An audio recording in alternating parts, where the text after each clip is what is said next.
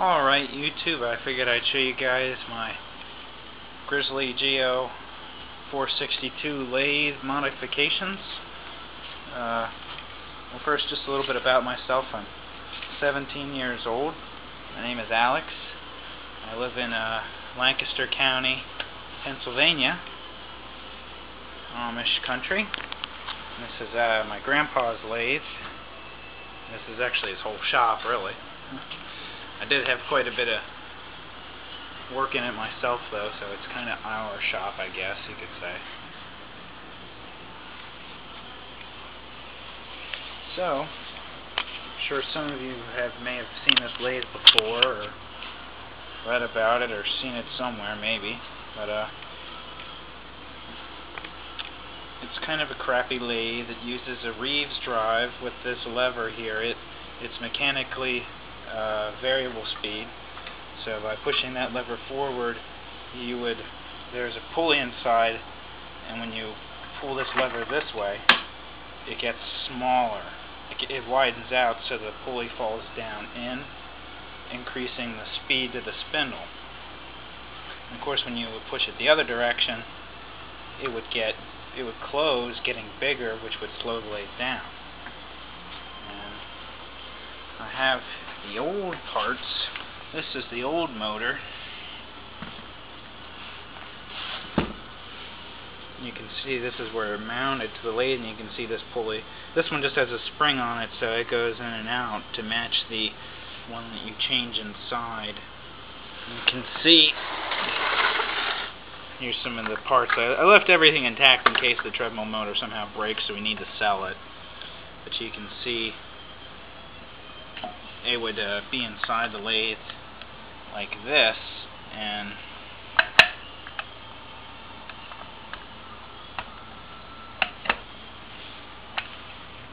they would come apart. This big black metal piece would be connected to a rod at the bottom there through a through a hole there and that would pull that piece which is attached to this right pulley it would pull that and you can see that diameter in the middle there gets smaller and of course, the other way you would rotate the handle would push it together, forcing the belt to the outside and making it slower. Now, problems with this type of drive is that it's noisy, which really isn't that much of a problem for me, but it also tends to uh, chew up belts since the pulleys are moving and constantly pushing on the belt and it really shreds them up pretty quick. They only last a couple months, maybe a year. Uh, it also stretches them out a little bit. So you start, its lowest speed was 600 RPMs, and as you, the more you use it, the more it stretches. So your slower speed gets a little bit faster, like it'll be 650, 670. Um, the fastest speed for lathe was around 24, 2500 RPMs, which is really slow, or well, it's still pretty slow for a fast RPM rating. Uh, 600 RPMs was too fast for anything for anything really like this, this bowl's about 7-8 inches in diameter. Rough turned that the other last night on it with the lathe. Show you the inside of it. Kind of just built this cover here. Since the uh, motor, the way I put it on, didn't really work, you can see this whole thing. This is the treadmill readout. It has all the controls and, well, most of the circuitry inside. And then there's wires here that run along the back. Those are other cords, but this this one goes all the way down through. And here's the motor. Case is just made out of underlayment and some yellow pine.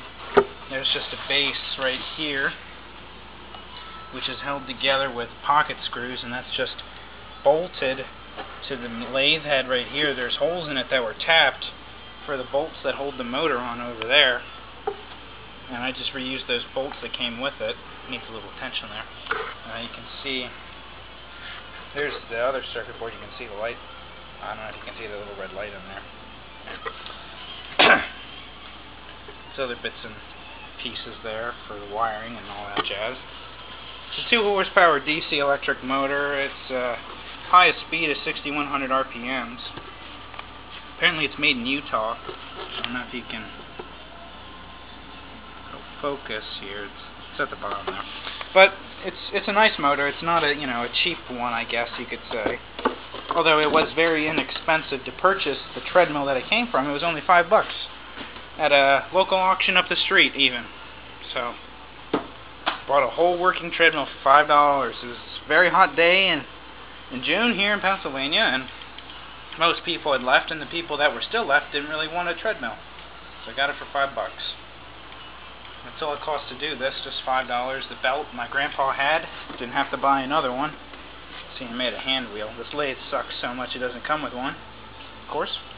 Uh, the RPM readout was pretty easy to wire into the system. Just uh, the wires that come from the power cord, those get uh, twisted together with the wires in the RPM readout and the wires in the control board in the motor. They just, all three of those get wired together and it works just fine.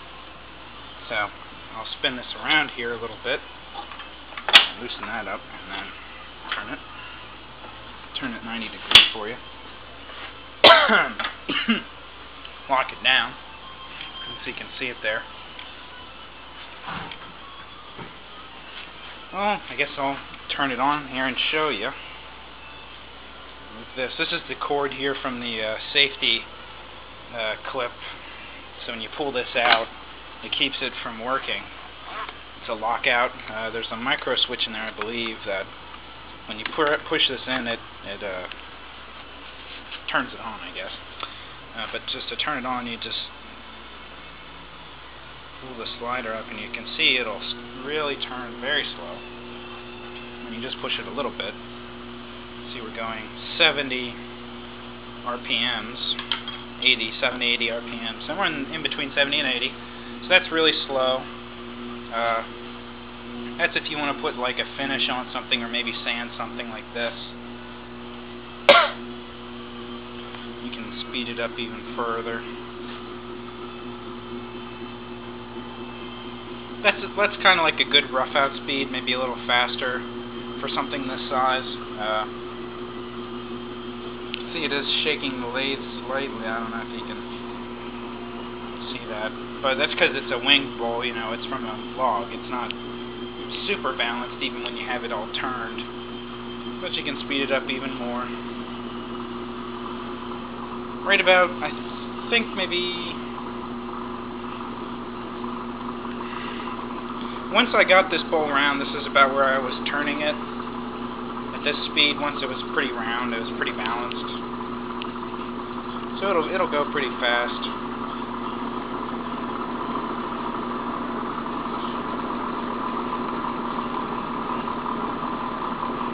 It'll go pretty fast. I think uh, with this, I turned two pulleys in the back here, these wooden ones out of plywood. They have two steps on them. You can see see them in there they have two speed ranges. The fast speed is very fast. Uh, when you just move the slider up a little bit, it goes to like a thousand RPMs, like like that. So, but that's the lathe in general. I guess the modifications. It's really easy to do.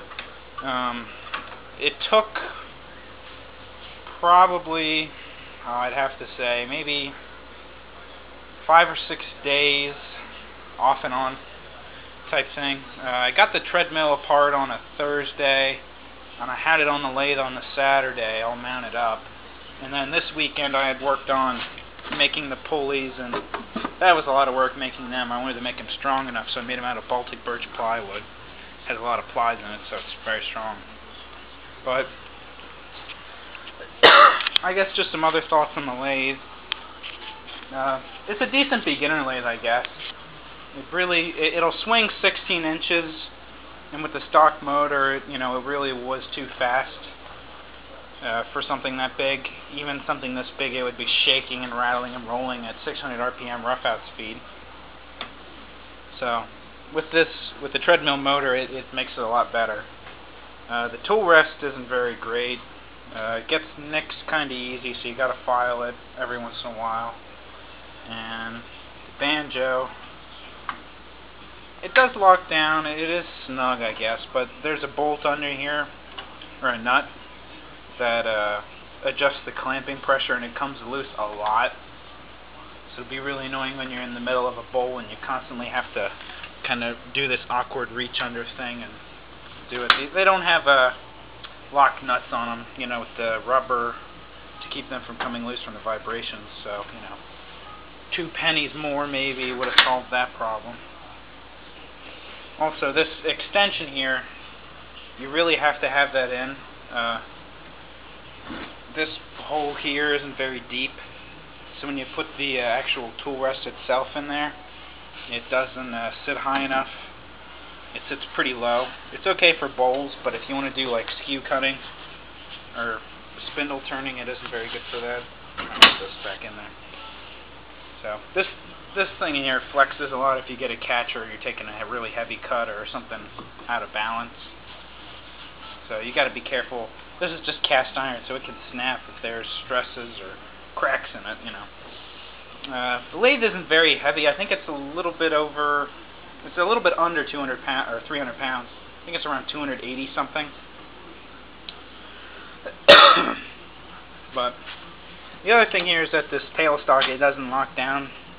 It locks down okay. It does slide a little bit when you do apply pressure on it. The hand wheel doesn't turn all that nice. Uh, one of the things that's really annoying is that it doesn't have a self-ejecting tailstock. So you got to wind this back and you got to use the knockout tool and pound that out, and that that's kind of annoying. And it isn't very. Uh, the point here on the end aligns with the uh, headstock uh, drive spur. I think it's like an eighth of an inch off. I could align it with some shims, but for making bowls, it's okay. It's turning pens is a real problem though when you have to do that. So this lathe is not very good for small, very accurate uh, returnings. But that's the lathe, I guess. Uh, cut off this video before it gets too long. Have any questions? Uh, be more than happy to answer them.